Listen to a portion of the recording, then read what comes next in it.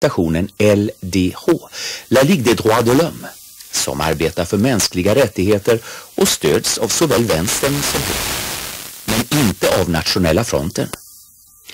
LDH kritiserar oss och alla som inte delar vår världsbild ska bara bort, sa Steve Briouat till radiokanalen France Info. Les contre notre élection. Den nye borgmästarens uttalande har dock i media tolkats som hatfullt mot det som inte delar partiets värderingar. Le Monde med flera andra har avslöjat partiets planer på att enbart stödja kulturarbetare som propagerar för en nationalistisk kultur. Teaterchefen Jean-Michel Ribbe är inte förvånad över uppgifterna. Kunskapsnivån på partiets politiker är så låg att de inte kan skilja på Goethe och Charlie Chaplin. Eh,